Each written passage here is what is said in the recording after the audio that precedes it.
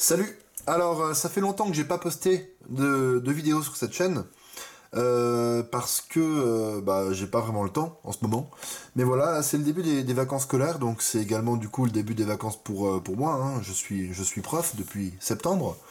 Donc j'ai retrouvé une idée de, vidéo que j'avais eue il y a quelques mois. Donc c'était pour faire un épisode 2 de la série sur en fait bah, quelques trucs et astuces où ce serait à vous de trouver la solution.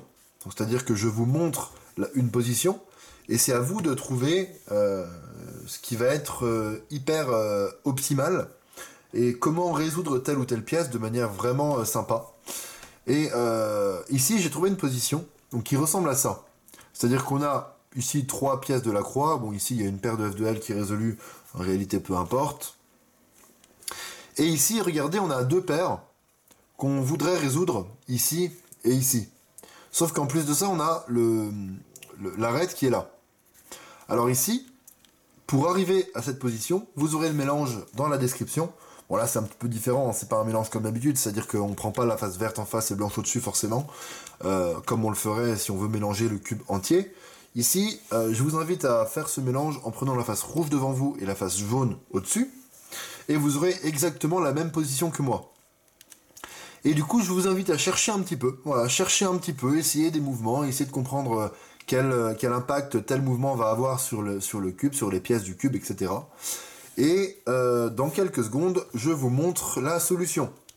Donc voilà, je trouve ça vraiment intéressant de faire comme ça parce que bah, finalement, c'est à force d'entraînement qu'on commence à voir de plus en plus de choses, à voir de plus en plus de manières de créer des blocs pour faire des X-cross ou des choses comme ça.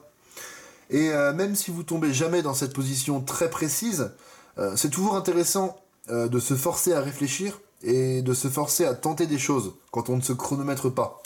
Par exemple, vous allez tourner dans tel ou tel sens et vous allez voir ce qui va se passer et ça va peut-être vous, permettre d'avoir des, petits déclics qui, vont vous, permettre de résoudre d'autres choses dans d'autres types de situations. Donc, euh, donc voilà, il faut se forcer à prendre le cube, euh, à, tou- à tourner le cube, à s'entraîner sans forcément se chronométrer. Et ce genre de petits exercices, c'est sympa, je trouve. Donc voilà, j'ai assez parlé. Maintenant, pour ceux qui veulent encore réfléchir, mettez sur pause euh, et cherchez. Sinon là, je vais vous montrer ce, que, ce que moi je ferais si je tombe là-dessus. Vous allez voir que c'est assez monstrueux. Donc ici, regardez. Euh, nous, on constate que la là, bon, si on la rentre comme ça, a priori, on, est un petit peu embêté. On pourrait rentrer celle-là ici, mais après, il va falloir faire M' U2M. C'est pas forcément super évident. Par contre, regardez, si je, si je la mets là, et que je fais R, U2, R', je peux enchaîner avec un R2, F2R. Donc, euh, regardez, je vais le refaire. La là, je vais la mettre ici. R, U2, R2, F2, R. Et du coup, à vitesse réelle, bon, forcément, je me suis raté. Mais à vitesse réelle, ça donnerait quelque chose comme ça. Voilà. Donc, extrêmement rapide à résoudre. euh, et alors que ça sautait pas forcément aux yeux que c'était si évident que ça, en fait. Quand on avait la position devant les yeux, ça sautait pas forcément aux yeux que c'était si évident que ça. Euh, ici d'ailleurs, j'ai l'impression que ça va skipper si je fais ça. Ouais, j'avais raison. Euh, et ici, une PLG, bref. C'est pas le sujet de la vidéo.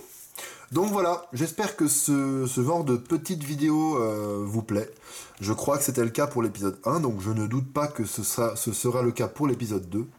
Et si j'ai d'autres idées, ben je referai d'autres épisodes. Voilà, salut